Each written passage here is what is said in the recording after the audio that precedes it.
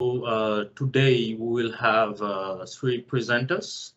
Uh, one of the presenter is going to be Maritza, our usual host. Uh, and uh, one of the presenter is going to be uh, Christopher Brooks, which, you know, some of you may already know as the um, IOGT Global Coordinator. So to give us some new important updates about IOGT. Uh, another presenter, which is uh, Naina Ahuja, uh, is leading the global effort on what we call the remote health worker training. so that is for this webinar today. Um, and uh, I would like to quickly introduce the webinars and the idea of the uh, T4D uh, knowledge sharing webinar in, in this region. Uh, so this is part of our knowledge sharing and management plan, uh, which is uh, still a work in progress. Uh, and we have decided to take some sort of experimental approach.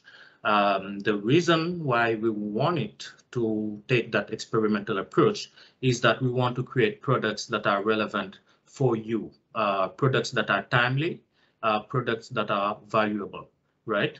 And uh, with uh, these webinars, we have also created other products or taking other actions. Uh, and uh, some of these actions that are already uh, delivered uh, are the T4D newsletter, which I believe most of you are receiving by now.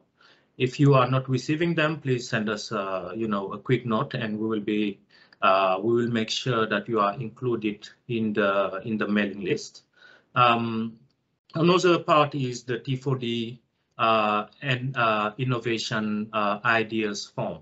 So that form will allow you to actually uh, send some of the ideas that you have uh, and share some initiatives that you have uh, that have technological components or innovative components. And we will use that to explore the idea further with you.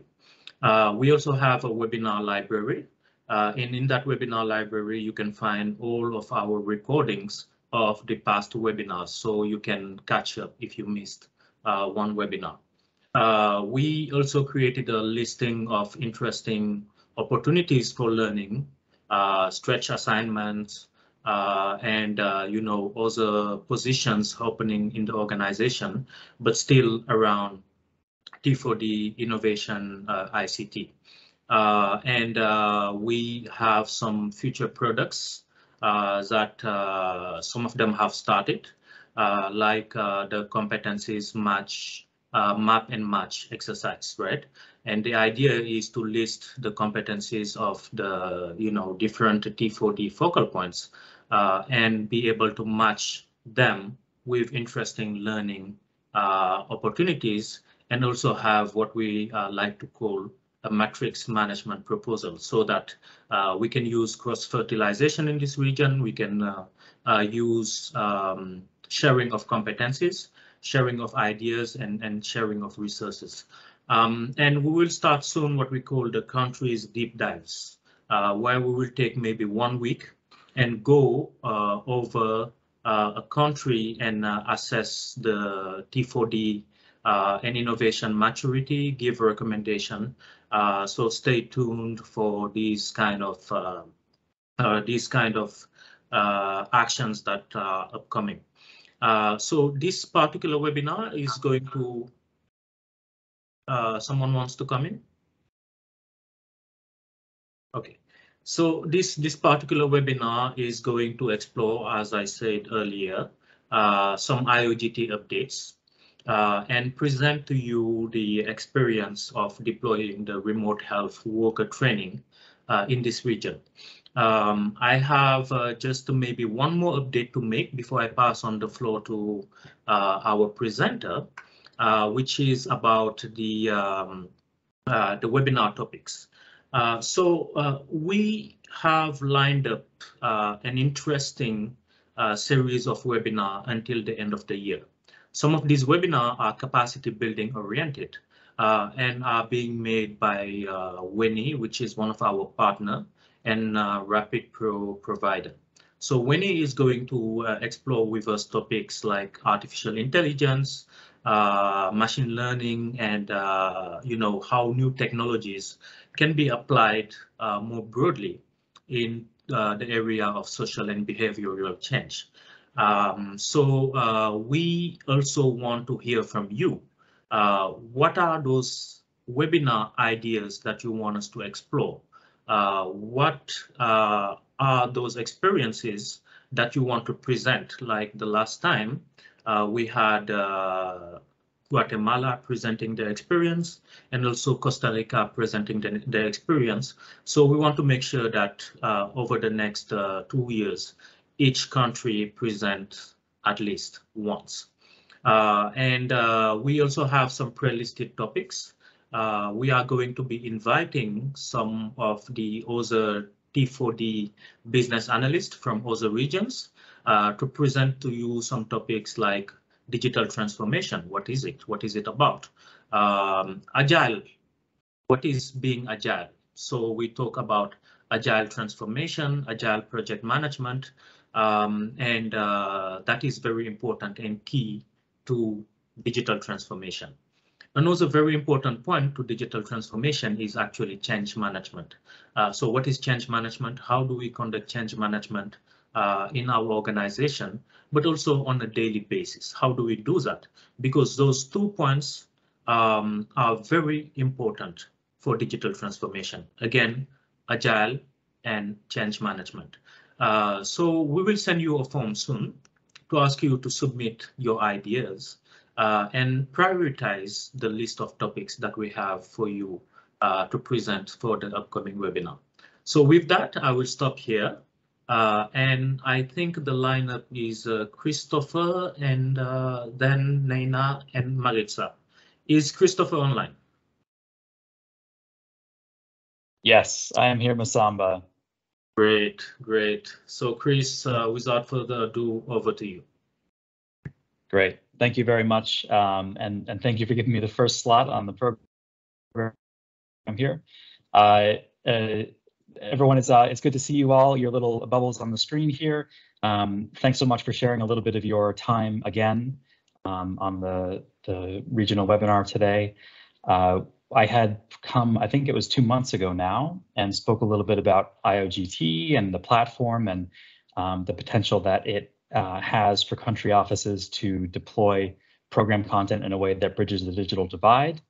Um, we uh, there there were some follow-ups that, uh, to be honest, some of them I have been able to get around to, and, and others of them I haven't. And for those of you who I, I haven't reached out to yet, uh, I apologize for the delay. Um, it's been quite a lot of work uh, resolving an issue that I'm I'm going to share the resolution um, with you on today, which is very exciting. So. When I had spoken with you last time, um, we had talked about the possibility of zero rating IOGT platforms in your country. Uh, zero rating means there is no cost or data package usage for the end user who is the mobile phone subscriber. And ideally, it also means that even if the person hasn't purchased the data package or um, uh, yeah, has never has never considered buying a data package with their mobile network operator, they would still be able to access the IOGT platform. Um, the, uh, the the challenge which we had had in the past was that we weren't able to um, assign a unique static IP address uh, for the IOGT platforms, which is how almost all mobile network operators are handling their zero rating setups. Uh, the great news now is that uh, as of uh, today, we can fully accommodate a zero rating setup for any mobile network operators that are okay with us uh, zero rating the entire IOGT network, all of the different sites across the different countries. And if you have a mobile network operator that only wants to zero rate the particular IOGT platform for your country office and for your program activities. Uh, we're also very close to a solution for that. So our vendor IDEMS um, was able to develop the the Azure infrastructure needed to facilitate the, the zero rating access to the entire network. Um, actually, I've, I've misspoken uh, just a little bit here.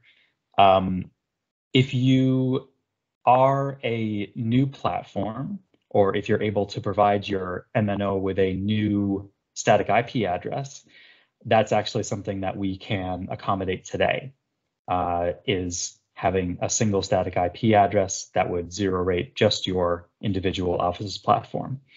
Um, for country offices that were on IOGT version one and that need to retain their static IP address, uh, if you're in that category, as I know Ecuador is, and I believe Ecuador is the only um, uh, country within this region, but uh, it, it has been um, kind of an, an outstanding process. ICTD needs to actually do that work of moving the IP address from the the old version of IOGT in that Azure environment to the new version and our new environment.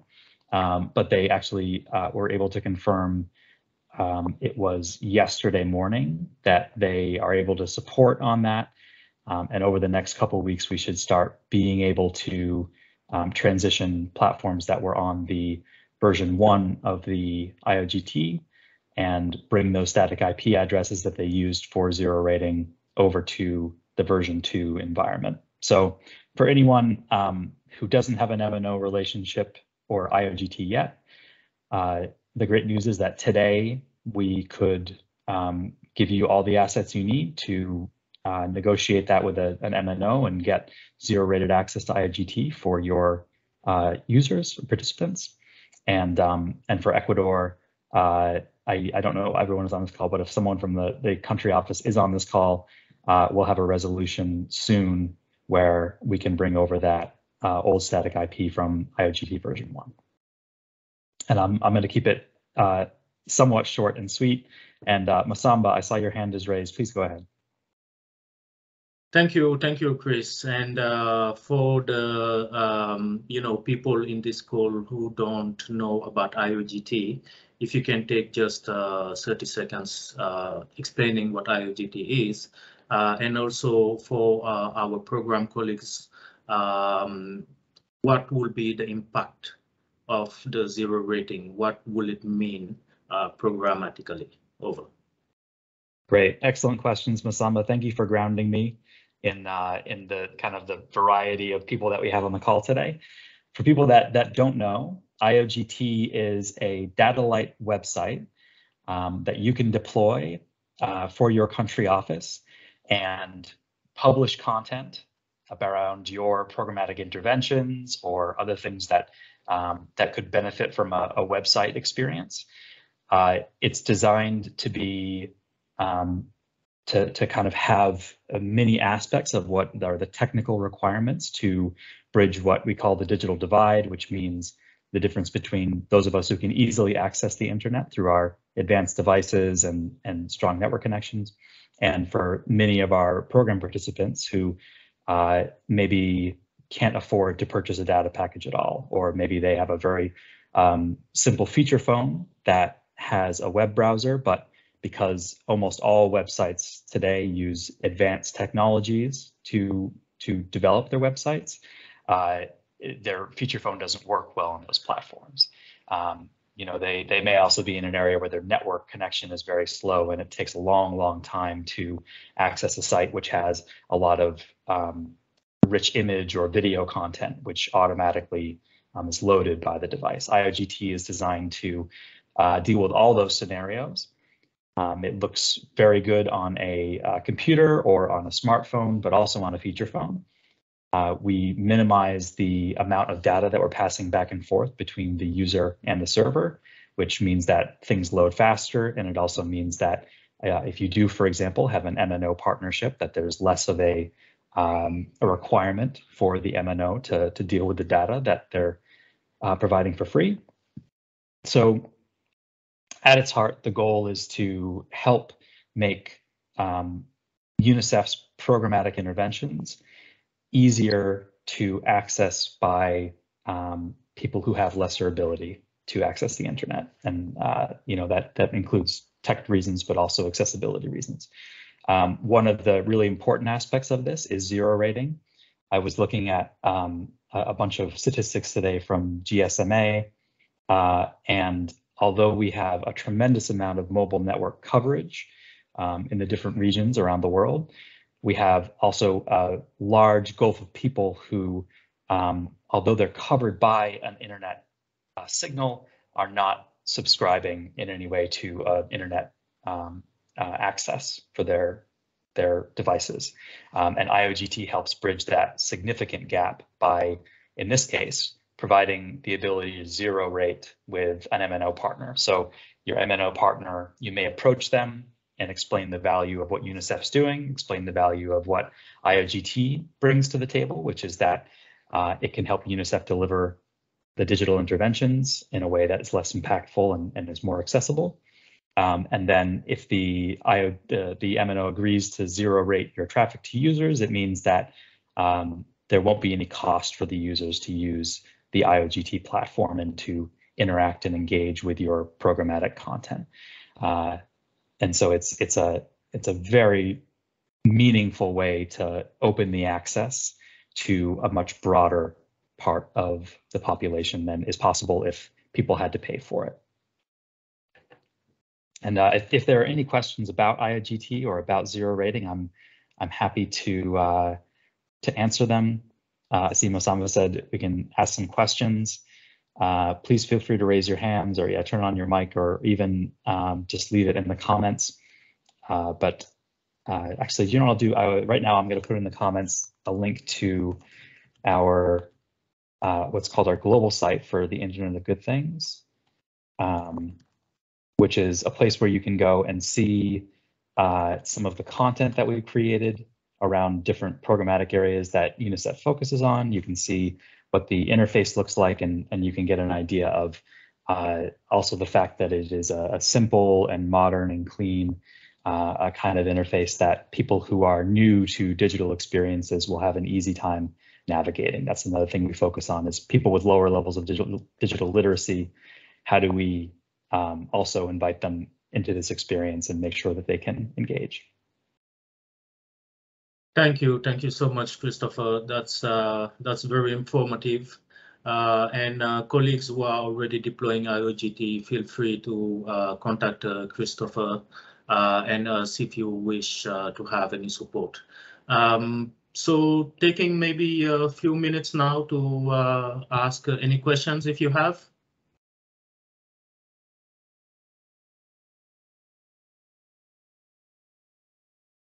So I guess uh, everything was clear. Feel free to drop uh, any question in the chat.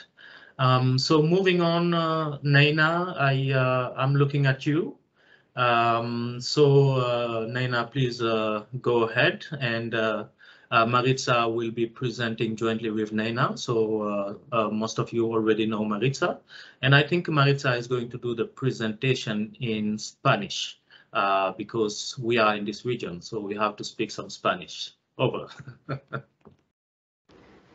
Thanks, Masamba, for, for introducing, and hello, everyone. Um, I think Maritza will share her screen, and then I will begin.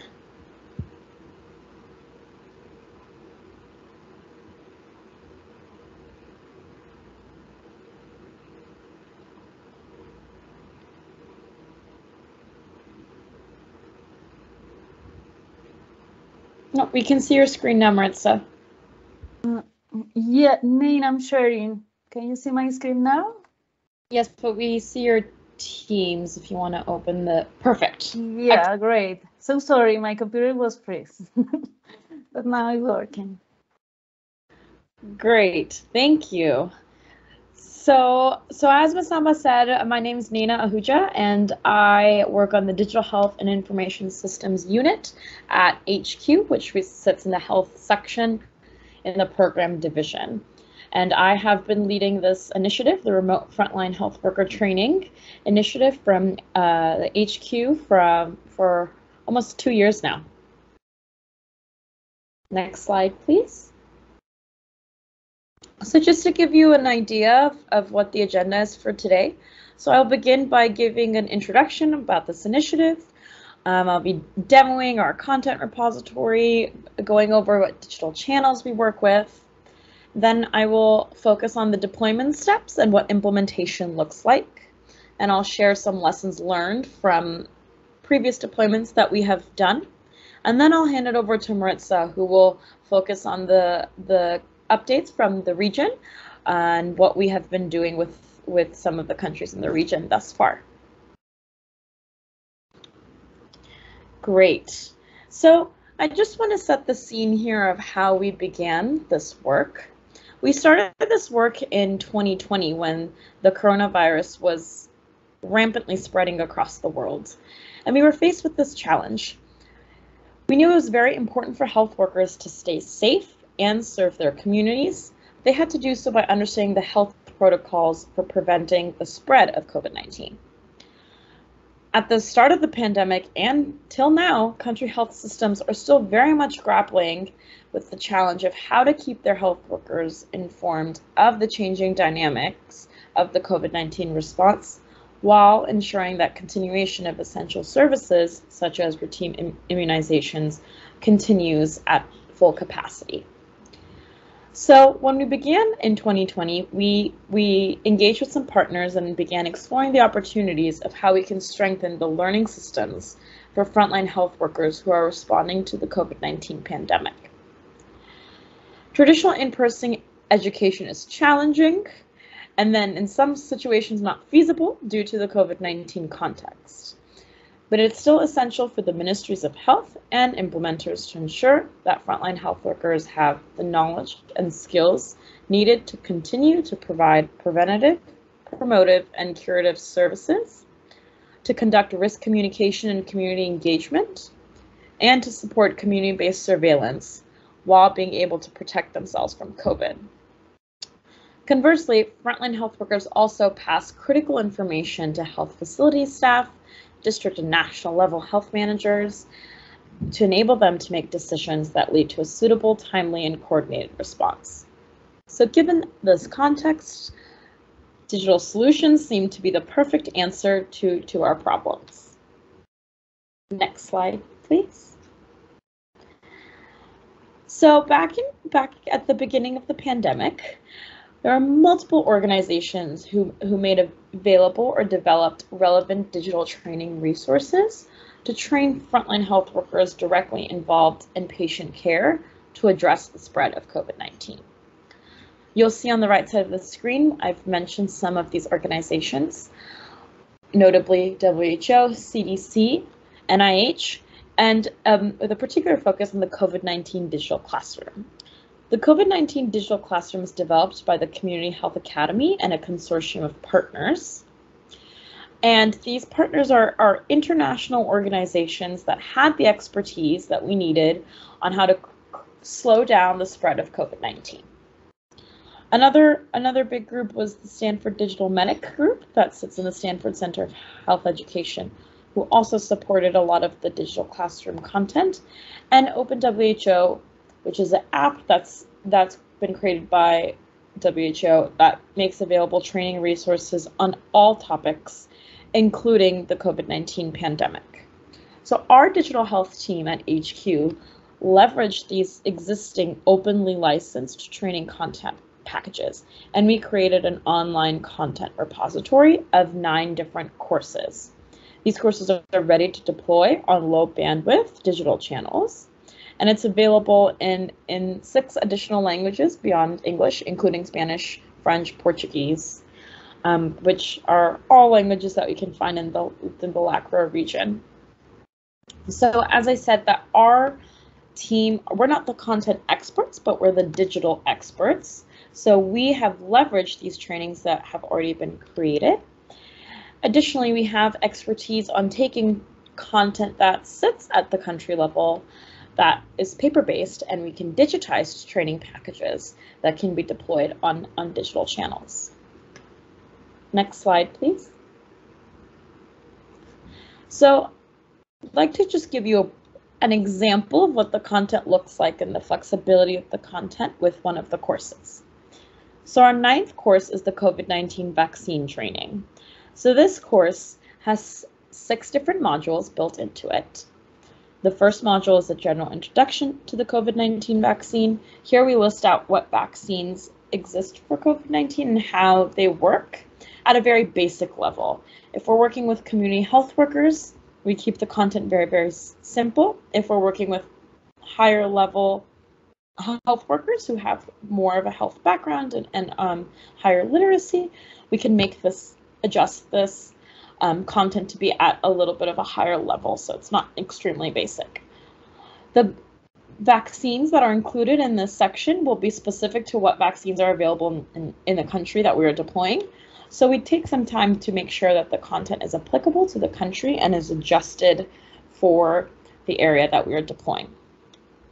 Then we have a couple of modules on generating demand, RCCE, community engagement, handling vaccine hesitancy and misinformation. And then we transition to two modules around administering the vaccine and then monitoring for any adverse events following immunizations or otherwise known as AEFIs. Now these two modules are are very specific to, to administering the vaccine, but we may be working with health workers who are not actually administering the vaccine.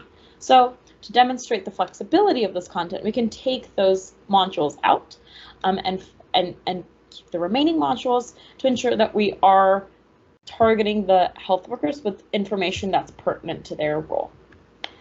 The last module of this course is ties in the importance of routine immunizations and the COVID-19 vaccine. So we know that during the pandemic, routine immunizations have dropped. So we've focused um, the last module on tying together the principles for immunization services and how um, immunizations can continue while, while we are still living in this COVID world. Next slide, please. Maritza, if you can play the video, perfect. So this is our online content repository that uh, we will share the link at the end of this presentation so you can go directly to it. But here is where our content sits. It's on a website called Compass, which is hosted by Johns Hopkins University. It's very simple and easy to navigate.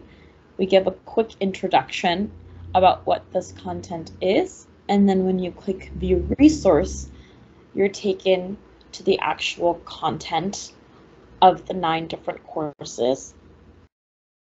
It's available for anyone to access, not just UNICEF country offices, but beyond UNICEF as well.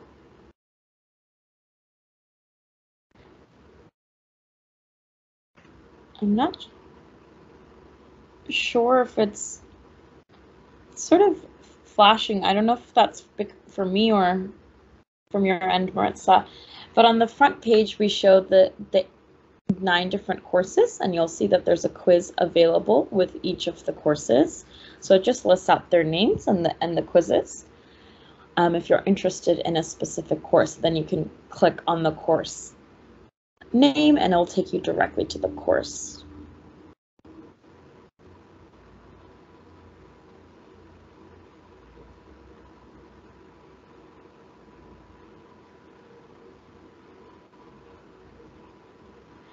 When you get to the home page of the course, you'll see the different modules and sub-modules within each course so you know what content is covered.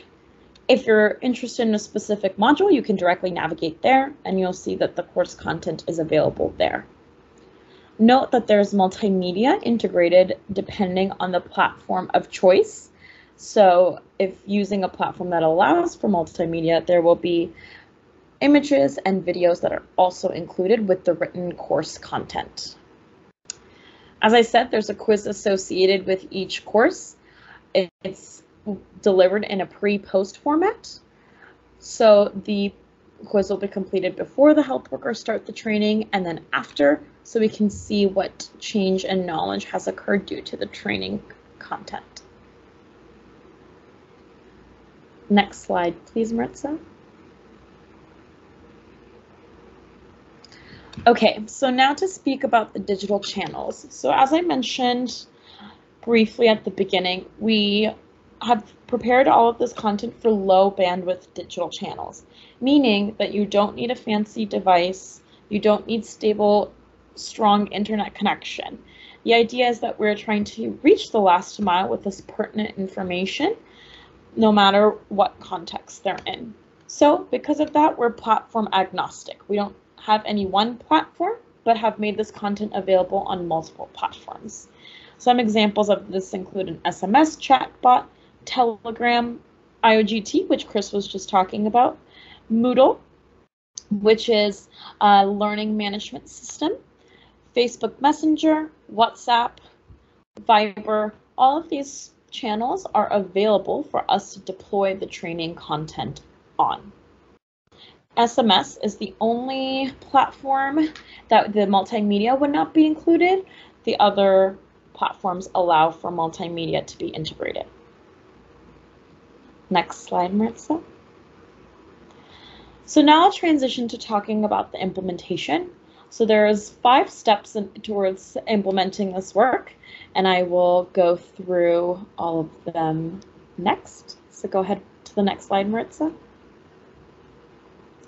So the first step is the course selection and content review step. So I meant, as I mentioned at the beginning, we have these nine courses available.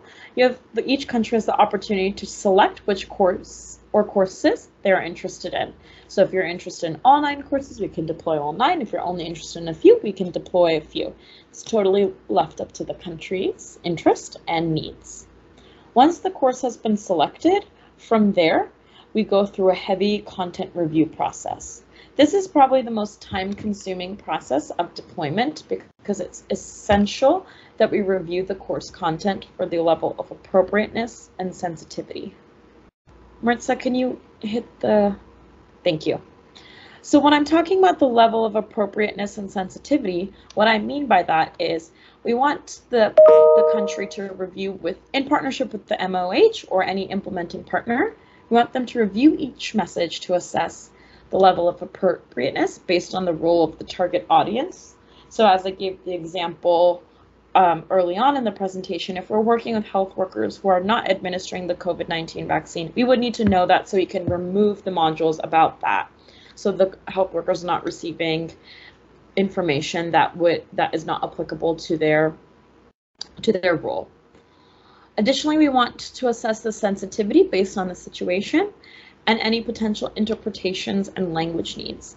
So as I said, it is translated into Spanish, Portuguese, and French, but if there are any adjustments that need to be made, um, all that will be, need to be taken into consideration. At this point, we also are open to receiving any comments from the country office or any content that needs to be added to our course content. The courses that we have developed serve as a starting point, and by no means are we forcing that it should only be this. Uh, we are very flexible to adjusting um, and taking out or adding depending on the country's need. Next slide. Then the next step is the content localization. So based on the feedback from the country office review, our team at HQ will localize the course workflows. Once we have gone through that process, we will send the localized course content back to the country and whoever validated the content in first step, whether that's the country office and the MOH or the country office and an implementing partner, um, we'll have them review it one more time to ensure that the course content looks exactly as how they'd envisioned and we've integrated all their comments as they expected. Next step. So the next step is the is the digitization process. So here, once we have the course, course workflows finalized at the end of step two, we then put it on the digital platform of choice. So the very first step is to identify the digital channel or channels that would be used in, in the country for deployment. So we are not um, limited to just one channel. We can we can deploy on, on multiple channels depending on the context in the country. And here is where Maritza begins her support and helps us transition the content onto the appropriate digital channel. She helps support us with configuring the platforms and getting the content ready and doing the testing, etc. Next slide, please. After we have digitized the content, Maritza's done some testing, I've done some testing. We are ready to begin the new, the next step of the health worker user validation process. So here with this small sample of health workers, we ask that we enroll a few of them in the courses on the digital platform and take them through the learning process. We aim to gather feedback on their experience so we can adjust anything that needs to be adjusted before we are we're deploying with a large large group of people. So if you can click and thank you. So we're trying to gather feedback on one, the user friendliness of the learning platform. So it's essential that we get the health workers actually engaging with the content on the digital channel to make sure that they're able to navigate, they're able to use it, the channel is working as expected. We also would like to gather feedback on the levels of the user engagement. So are health workers actually enjoying the content? Are they able to understand the content and review everything? Um, and are they actually taking away any learnings? And then the last piece is the knowledge evaluation, which I mentioned previously around the pre-test and post-test, and to see that if there are any changes in knowledge. Once we gather all that feedback, we will then integrate and, and move on to the next step, which is, go ahead, Maritza, which is deploying the training with frontline health workers at scale. So that's the last final step um, and then again, we would still be doing that monitoring and evaluation um, that I mentioned in the previous step. We have a an M&E framework created which has a list of indicators for the three different buckets. Um, and and we would expect to, to gather some feedback on that. Most of that is built in already um, due to the digital platforms. So for example, Rapid Pro powers SMS, Facebook Messenger, WhatsApp, uh, Telegram, and the Rapid Pro backend provides us a lot of the M&E indicators that we're looking for. So it's not an extra, it's not an extra, you know, work, but but already built into the deployment. Next slide, Maritza. Thank you.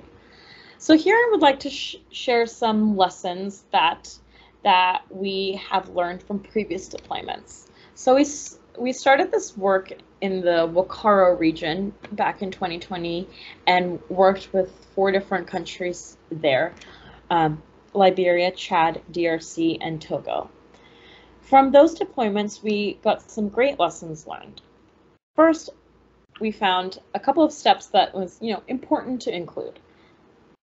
One is to, to present it to the Ministry of Health for their buy-in. Um, it, it having the ministry involved just helps with success of the deployment, but of course it's not necessary. The second important lesson we learned was about the importance of reviewing the content and adapting it to the context. So that is why the very first step um, was added as part of the implementation process to ensure that we get the content ready for the context it's being delivered in. Next, it's important to develop a rollout plan. So having an idea of how this content will actually reach the health workers and what targets we have will obviously help with the uptake of the content. And then of course, important to remember to engage with us at HQ with support and Maritza at RO who provides a lot of support on getting this, this content on the ground. As for the digital channels, the tool and platform selection can be are, are based on, on, on two important things. So first, if there's availability of smartphones. If there is availability of smartphones, the options of what channels we can use to deploy this content widens. But if we're only working with simple phones and the country has a Rapid Pro instance, SMS is the option to go for. In terms of feedback that we received from community health workers in these four regions of which platform was preferred, Moodle emerged as the favorite option, followed by Telegram. The health workers really enjoyed the Moodle platform, felt it kept them engaged, they were able to review the content easily, um, and, and they were able to view all the multimedia, the videos and pictures that I mentioned, which they weren't able to do on SMS. Telegram is a very similar interface as WhatsApp. They're they're sort of sisters, um, and Telegram is it has the same uh, features that Moodle does. The only you know negative about Moodle is often health workers haven't used the platform before, so there is a learning curve to learn and familiarize yourself with the platform before engaging with the training content. Telegram that learning curve is completely knocked out because most folks have worked with WhatsApp or Telegram before, so they're already familiar with the platform. Next slide, Maritza. So here I'm going to list, I have listed out some key documents and resources that are available. The first is a link to the content repository, the video that was demoed that shows all of the actual course content. The second is a link to a course catalog. So as you probably saw, there's a lot of content. So it can be a bit overwhelming. Hence, we developed this course catalog. It lists out all the nine courses, their titles, uh, their learning objectives, and a very quick summary. We generally advise using the course catalog at the beginning to help inform the course selection process. The third is a link to a country engagement plan. This country engagement plan is um, goes into a, a lot more detail of what I have shared today on in terms of the implementation. Often we find the, the people that we're working with haven't implemented trainings for health workers on digital platforms before, so it gives you a good introduction to the basics and then helps helps define the implementation steps with more detail. And last is a guidance. It's a Microsoft Sway guidance that we've developed at HQ on the steps for deploying a health worker digital learning program. So I'll stop here. Um, Maritza, if you click again, I have my email address.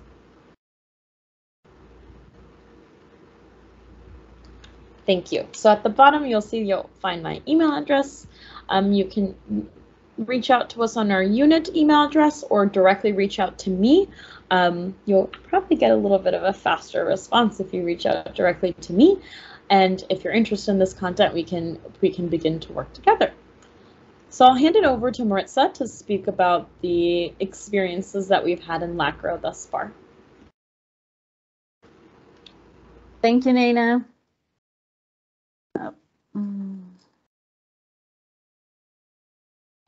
Naina, can you hear me? Oh. Can you hear Yes, me? hear you, Yes. Oh, sorry. My Yes. computer. Yeah, no. Thank you, Naina, for uh, your uh, introduction about remote health worker training. And Masamba say, I will start now speaking in Spanish to, to show the people uh, the LACRO country's status. Eh, gracias, colegas, gracias a todos. Y bueno, antes que nada, que antes de empezar a, a- a contarles el estatus o el progreso en el que estamos en esta iniciativa de, de, eh, de, um, entrenamientos en COVID-19 para trabajadores de la salud, quiero contarles que desde la T4D hemos brindado un soporte eh, bastante eh, persuasivo y fuerte con los, con los países de la región. Desde el año pasado iniciamos las conversaciones y empezamos incluyéndonos en ah, diferentes webinars, eh, con Neina explicando el proyecto y nosotros dando, brindando todo el soporte. En esta presentación ustedes pueden ver estas dos, eh, digamos que dos columnas, dos pantallas. En la primera están los países en los que empezamos esas comunicaciones, les enviamos los mensajes y se mostraron inicialmente interesados en esta iniciativa que ofrecía salud digital desde la sede de Nueva York. Eh, de esos países, nosotros estamos trabajando la implementación con Honduras, Paraguay y Venezuela. Estos países se han venido, eh, con estos países hemos venido trabajando. eh, inicialmente voy a presentarles acá el estatus. De Honduras. Am, creo que en la llamada está el colega eh, José, que hemos trabajado fuertemente con él. Eh, bueno, para iniciar, para desarrollar y desplegar los cursos en Honduras, inicialmente se tiene un target de trabajadores de la salud de 500 a 600. Entonces, lo ideal es desplegar los cursos a estos trabajadores de la salud. En este momento estamos en la validación de usuarios. ¿Qué consiste esta? Como mencionaba Nina, en esta validación de usuarios, nosotros, eh, aquí tengo un pequeñito video, voy a mostrarles más o menos cómo eh, se, se puede visualizar los, los cursos a través de WhatsApp, que va a ser el despliegue de, de cursos eh, de Honduras. Entonces, en esta validación de usuarios, aquí eh, tenemos que los, eh, se ha elegido un grupo de 30 a 50 trabajadores de la salud de Honduras y ellos han ayudado a mejorar la herramienta. Entonces nosotros les generamos todo este flujo por WhatsApp, se lo enviamos a ellos y ellos empiezan a interactuar con el sistema. La idea de esta validación de usuarios es que ellos hagan, eh, nos den ese feedback, esos comentarios, tanto en cuanto a los contenidos como en la navegabilidad del sistema.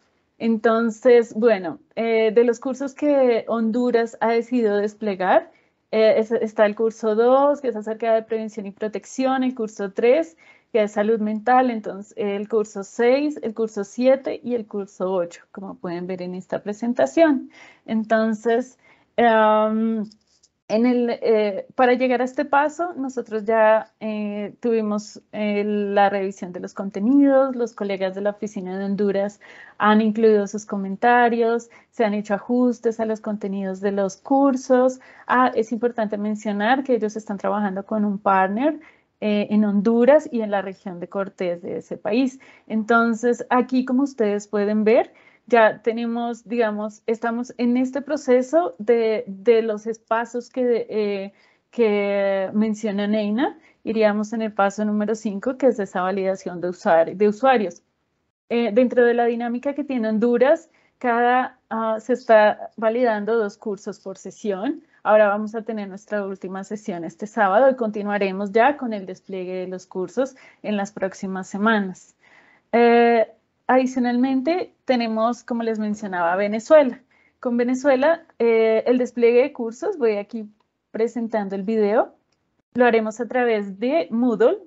Esta plataforma se ha elegido Moodle porque eh, ellos, eh, antes de, elegir, digamos, la herramienta o el canal en que se vayan a desplegar los cursos, necesitamos contar con diferentes, digamos, como diferentes sistemas como es Rapid Pro para desplegar, eh, eh, para desplegar en canales tales como Telegram, eh, Telegram WhatsApp y otros canales que, se, que necesita esta herramienta, ¿verdad? Entonces, bueno, en, términos generales, Venezuela vamos a desplegar de 600, digamos que nuestro scope de usuarios desde 600 a 1000 usuarios ellos hacen parte, eh, bueno, Venezuela también tiene un partner con el que trabaja, ellos son Finampime y Redisalud. Ellos trabajan con el equipo de salud de Venezuela. En este momento estamos, eh, digamos que en los últimos ajustes de esta herramienta de Moodle que les estoy presentando aquí. Eh, entonces, estamos mejorando la navegabilidad. Ah, quiero contarles un poco acerca de esto. bueno, aquí ustedes pueden ver eh, está, ponemos todos los contenidos, se describe, eh, aquí estamos presentando el curso número uno. otra de las características que tiene este sistema de módulo es que los trabajadores de la salud se pueden matricular ellos, eh, hacer una autoinscripción, es una gran herramienta también.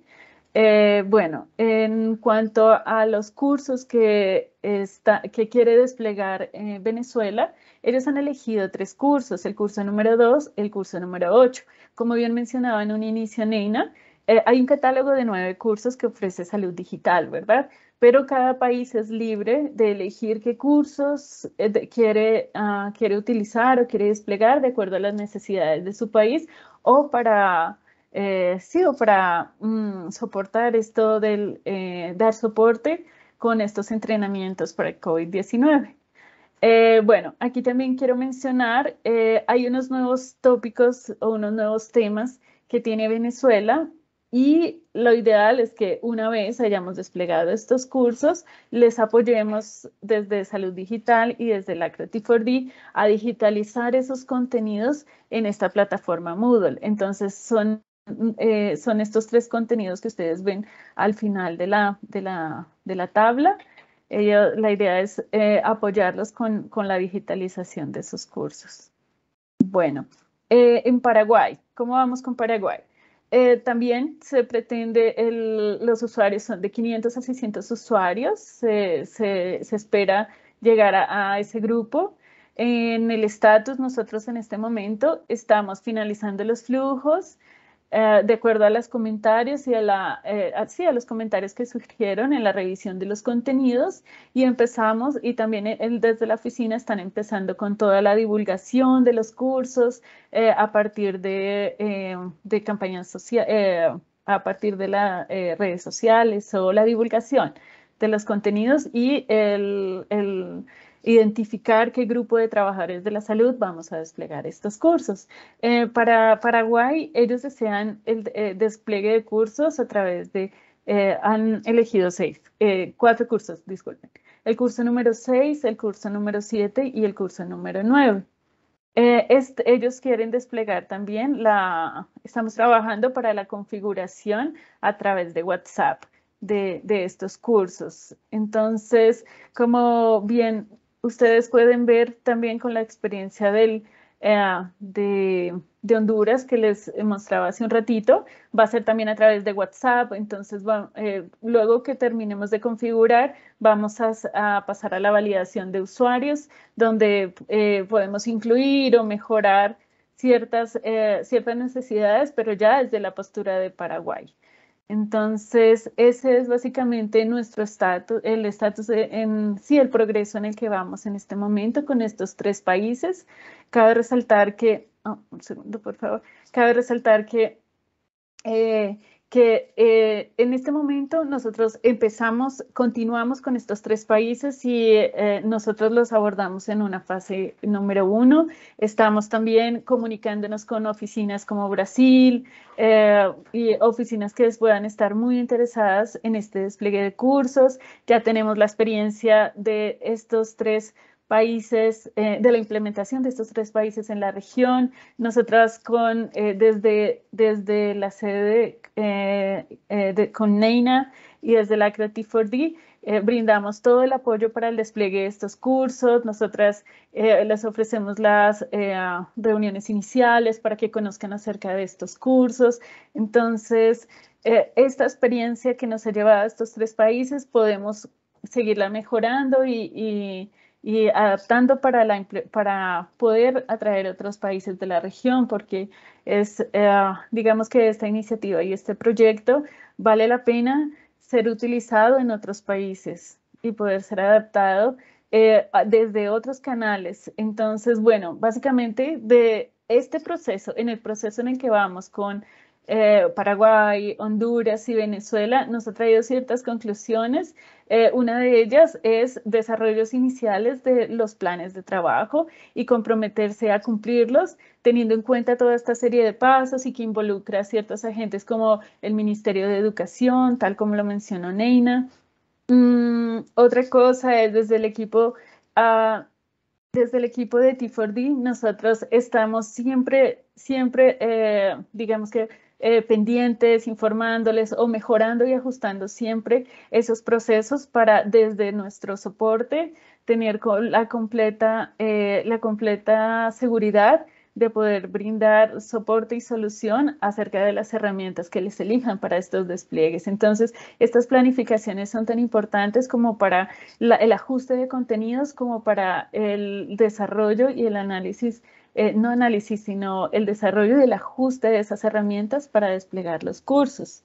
Entonces, bueno, ahora en cuanto a las plataformas, una de las experiencias es que eh, hasta el momento es que es importante antes de, eh, elegir el canal en el cual se desea implementar, desplegar los cursos, mm, que haya una digamos que una revisión de lo que se tiene. Por ejemplo, como les decía anteriormente, si los países quieren desplegar los contenidos a través de WhatsApp, a través de Telegram, SMS, ah, eh, necesitamos antes contar con, la, contar con la herramienta y el soporte de Rapid Pro.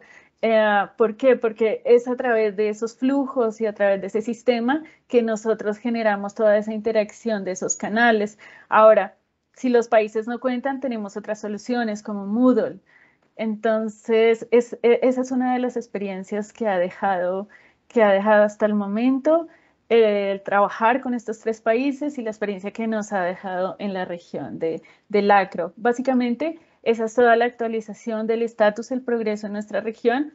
mm, antes de finalizar, me gustaría animarlas y animarlos a que si ustedes consideran estos contenidos de los, eh, los contenidos de los cursos puedan ser de interés para sus países, porque, bueno, en esta llamada se ha convocado a colegas del área, de áreas de la salud, de programas, también los colegas de T4D, que ustedes identifiquen que en sus países eh, sea, sea estas, este tipo de, de uh, este proyecto, esta iniciativa que, ofrece que, que, ofrecen los colegas de HQ y, y, con nuestro soporte, y ustedes consideran válidos, por favor, contáctese con nosotros. Eh, yo soy la punto focal de la región, Nina es líder de, los contenidos, ustedes pueden contactarse con nosotras y nosotras inmediatamente comenzaremos a apoyarlos y a orientarles en el desarrollo de esta, de esta iniciativa y esta propuesta. Eh, por mi parte, aquí termina mi, mi actualización. Muchas gracias.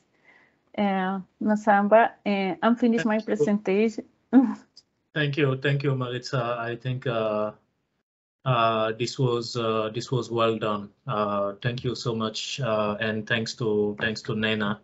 Uh, so I think we are five minutes over time, but I hope this was as interesting for you as it was for us. Uh, and uh, maybe let's take a couple of minutes to give a chance to uh, our colleagues if they have any burning questions they want to ask. As Maritza said, we are available if you need uh, any support or if you have any questions. So uh, do you have questions for the presenters? Over. Maybe I can kick us off by uh, answering Lillian's question in the chat, and then can, we can open the floor. Yes, please. Um, Uh, So can I, Lillian, can I, Lillian, res- can I respond? Sorry, Naina. can I respond the Lilian question? I will respond in Spanish. So, I- sorry, sorry. First, first I send uh, just to Naina my uh, first question, and you can see my second question, uh, Marisa. The first question was directly to Naina. Please, Naina. Thank you. Thanks, Lillian.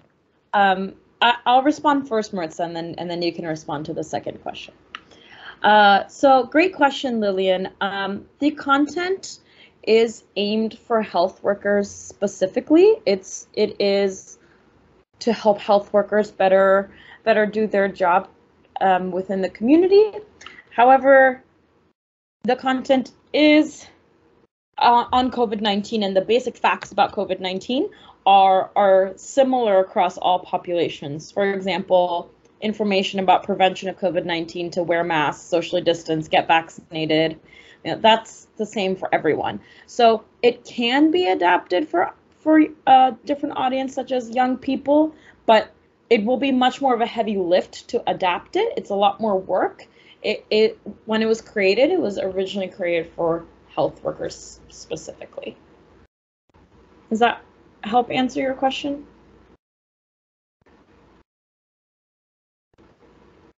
Yes, thank you. Or over to you, Maritza. Great, thank you, Naina. Uh, I I want to respond to the last question from Lilian. Uh, the uh, if useful to make difference codes with Rapid Pro and Moodle. And Lily i- is different because um, if you decide to, for instance, deploy the content of courses in Paraguay, will be by WhatsApp, right? But uh, you you already the Paraguay country office already have Rapid Pro, so I think is is is um, expensive no, is more cheaper if we continue the deploy using Rapid Pro because the Weni uh, give us all support with this kind of integration. But uh, for instance, if the case, uh, if any country that doesn't have any Rapid Pro vendor is a good is is an a good option to deploy content of courses uh, using Moodle. But in the case to the country that already have Rapid Pro vendor, I think it's a good idea. Think in the uh, this channel, like uh, Naina mentioned, uh, Telegram, WhatsApp, SMS.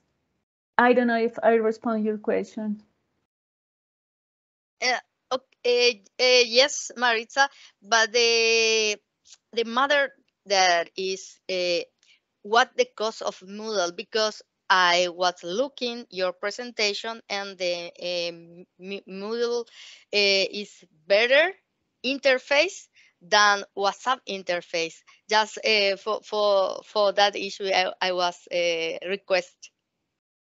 Yeah, Lily. Uh, Moodle Cloud costs one one thousand no one yeah one thousand four hundred dollars per year.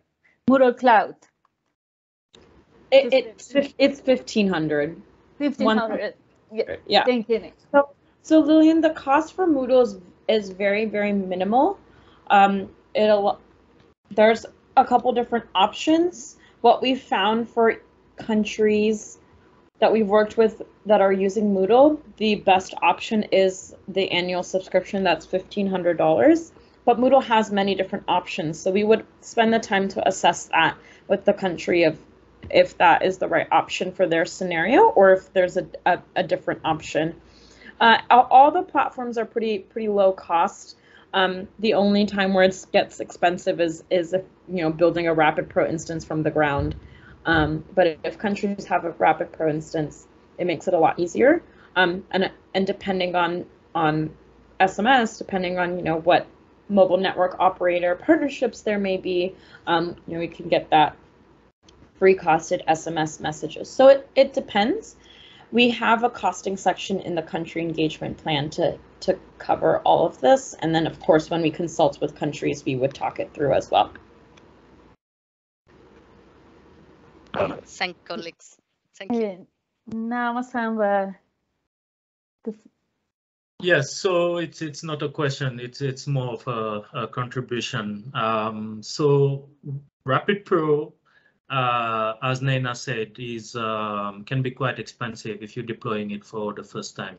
Uh, but to recall that uh, Rapid Pro is used for a lot of initiatives based on, uh, you know, social and behavioral change like you report.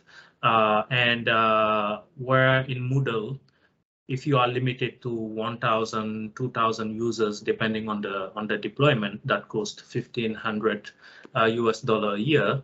In Rapid Pro, uh, you virtually have no limits. You can reach millions of people, right? We have examples of countries that are reaching millions of people uh, through Rapid Pro. Uh, and uh, for, for those people that are interested in polling, right, uh, I would like to remind you how Rapid Pro solves some of the polling questions. So for example, um, usually when you poll uh, population, uh, you cannot reach all of the population and you have to do sampling, right, uh, for the statisticians among us. Uh, but Rapid Pro basically solved that issue because Rapid Pro allows you uh, to reach you know, sometimes a very significant part of the population, if not the entire population, depending on, uh, you know, who you are polling and, and what you are polling for. So uh, they have unique advantages. They have comparative advantages uh, that you can leverage. And um, Moodle sometimes may be your best option. and Moodle is a learning management system. Uh, but Rapid Pro, the way I would like uh, people to see Rapid Pro is Rapid Pro is a communication platform. So Rapid Pro can link can link to other communication platforms like IOGT, for instance, right? One of the IOGT updates is that uh, we can use IOGT to poll uh, through Rapid Pro.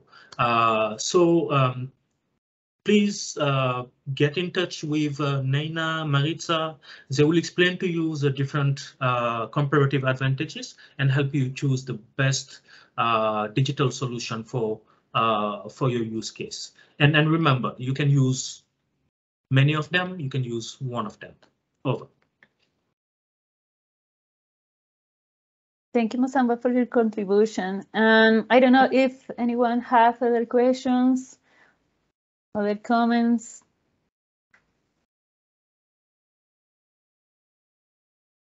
So I see a contribution from Chris. Uh, maybe Chris, you want to touch upon that quickly, and uh, mm -hmm. then we can we can close uh, because we are at time. Sure, I'll, I'll just speak very quickly about it. If anyone's interested in reading the paper, we used uh, a statistical tool called the equity tool, which breaks down the uh, DHS survey and some other surveys like MICS into a couple short questions that you can ask someone via SMS or another text message platform to get a very close idea of what wealth quintile they fit into um, within the context of a country. And the, what we did for uh, U-Report was we we worked in a few different countries and we um, we assessed our U-Reporters, how well and equitably do they represent the wealth distribution in the country. So you'll see some interesting data there about um, the kind of the difference in wealth between different um, messaging channels um, and also uh, a technique for getting closer to equitable poll polling uh, on a platform like Rapid Pro. But if you're interested, read more there. And if you have any questions, um, please feel free to reach out to me or any of the other authors on that paper. Thank you. That's uh, that's great. Um, so uh, thank you so much, Naina, uh, Maritza, and, and Chris. Uh, this this was very informative. Uh, please, colleagues, uh, stay tuned. We have, I think, uh, two webinars in June, if I'm not mistaken, Maritza. Correct me if I'm wrong. Yes. Um, yes one webinar will be with Weni uh, a capacity building webinar, and the other one is going to be a knowledge sharing uh, webinar, uh, and uh, the topic is still open. Uh, we will send that form to help you choose our next topic. Uh, so with that said, thank you again, Naina. Thank you, Maritza, and thank you, Chris. Uh, see you soon.